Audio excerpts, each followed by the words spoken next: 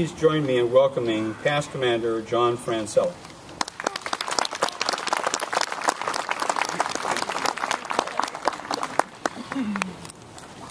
Thank you, Ernie. Good morning, everyone. It's an honor for me to be here with all of you as we pay tribute to all our veterans that have served our great nation. But I'm also here today to speak and pay tribute to those veterans who answered the call of duty during World War II and the Korean War. On December 7, 1941, the United States was pulled into a war which had been going on for years when Japan made the decision to attack Pearl Harbor. At that time, our nation's people answered the call to service. These veterans served in every branch and in every theater of the conflict during the next four years.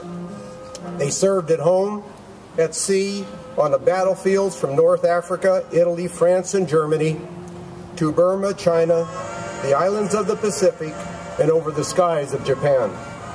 They were ordinary Americans called from every walk of life to resist and ultimately vanquish the most powerful armed forces ever raised on earth. These hard-fought soldiers faced the tyranny of Japan's wartime leaders and engaged in a litany of hard-won American victories. The Jimmy Doolittle raid that dropped bombs in the heart of Tokyo only four months after Pearl Harbor. The U.S. Navy's triumph over the Japanese fleet at Midway and the grueling island wars that wrestled Guadalcanal, Guam, Saipan, Iwo Jima, and Okinawa from Japanese hands. When our troops swept across the French countryside and into the forests of Belgium and Luxembourg, they came not to take, but to give back. When our forces stormed the beaches of Normandy, they came not as conquerors, but as liberators.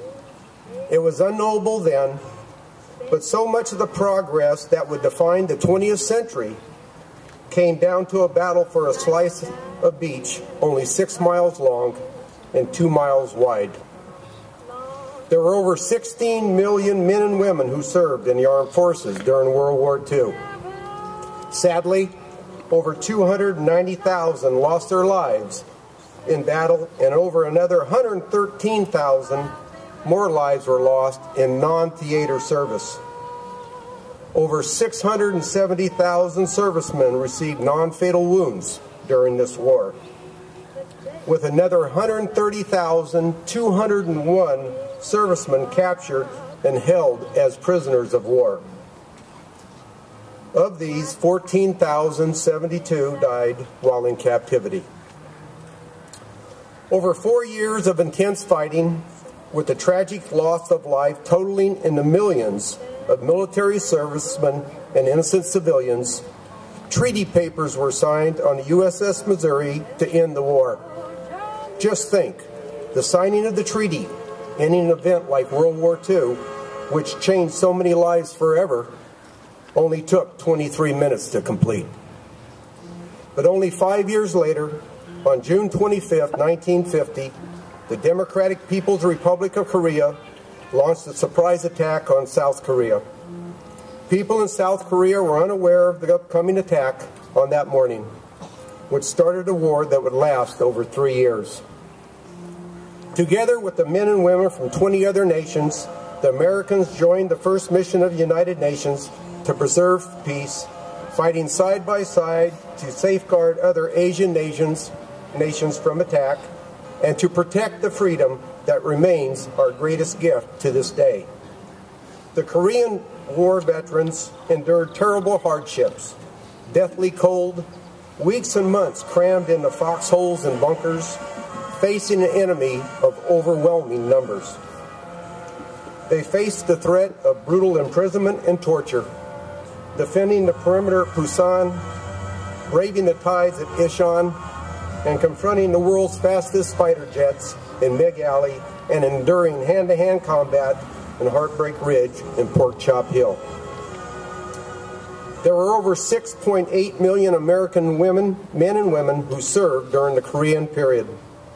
There were over 54,000 deaths to Americans in service during the periods of hostilities. 7,140 servicemen were captured and held as prisoners of war, and of these, only 4,418 returned to the United States.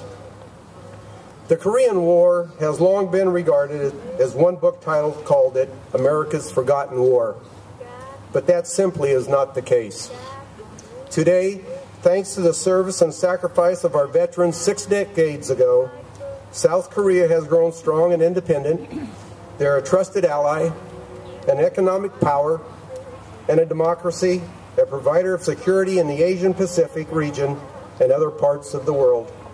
To the veterans of this war, your sacrifice made a difference.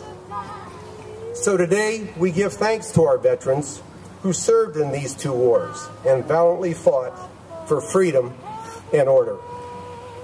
But who were these soldiers in uniform? As I said earlier, they came from ordinary places and were ordinary people.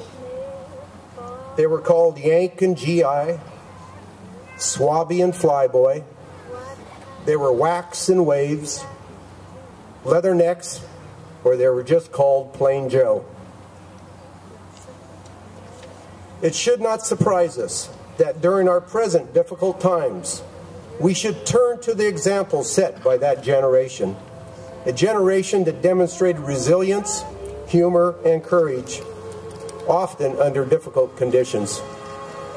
Their example and those memories should be kept alive by younger generations as they in turn strive to keep the peace in our troubled world. But there's another reason why we must never forget these veterans. An act of remembrance is an act of honor to those who sacrificed all, who bore the sufferings of war, who had wisdom to build the peace.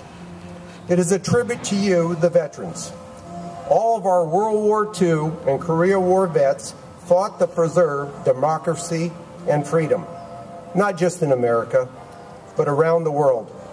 That's why these veterans deserve the best we can give them. They deserve the highest honor and our deepest gratitude. But never forget, these veterans didn't sacrifice in vain. They bled and died to defeat the greatest threat to freedom the world has ever seen. And today, the men and women who fought these wars are justifiably part of what is called the greatest generation. The sacrifices of these men and women are the reason liberty still exists because they stood up to tyranny. They are truly the greatest of the greatest generation.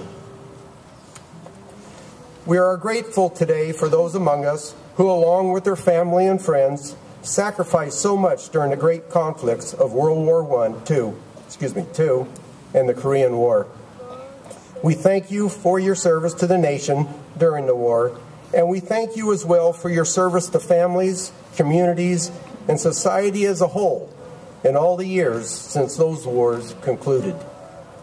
We are mindful of the fact that many sacrificed their very lives on the fields and on the seas and in the air where the battles of the war were fought. We remember them today with great reverence and thanksgiving. We are also mindful that over 1,200 of our World War II and Korea veterans are leaving us each day. So we are grateful for this opportunity so we can tell you thank you, thank you, thank you.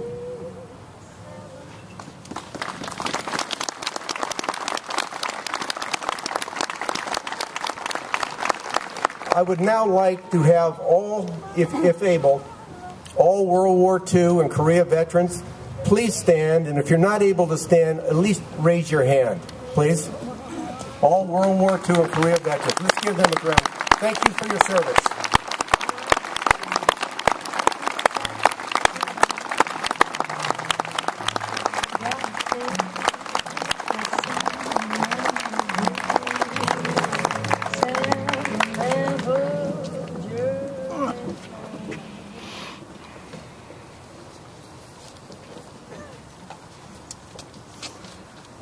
Thank you, John.